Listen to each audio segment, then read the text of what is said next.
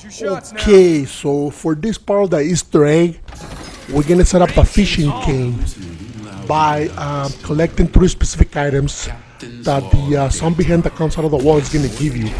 And the zombie hand is gonna give you those items if you give it weapons. And any weapon is gonna do. Um, I suggest that you do give him the cheap weapons. Um, also, the weapons that come from the wall, or if your weapon does not have ammunition.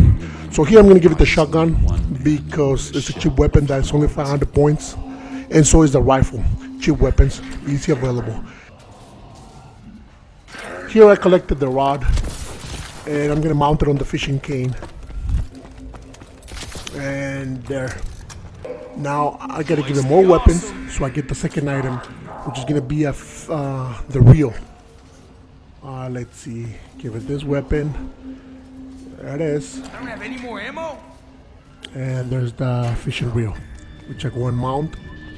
Again, I have one more item missing, and it's gonna be the fishing hook. Get low. So after seven weapons, in this case, I got the fishing hook. Can't see it, but I got it. It's next to my picture right there, below, on the screen. So with that, I completed the fishing cane, and I'm ready to fish. And there gonna be lots of things that I'm gonna be fishing for. However, I only need two things to fish out. One's gonna be the shovel, another one is gonna be the fish. This was the easiest Easter egg for me to do, and the one I have more fun with. Um, when, why, and how you're gonna use these items, I'm gonna show you in my next video. So please stay tuned. And thanks for watching, guys, and like my videos. Thank you. Your support means a lot to me.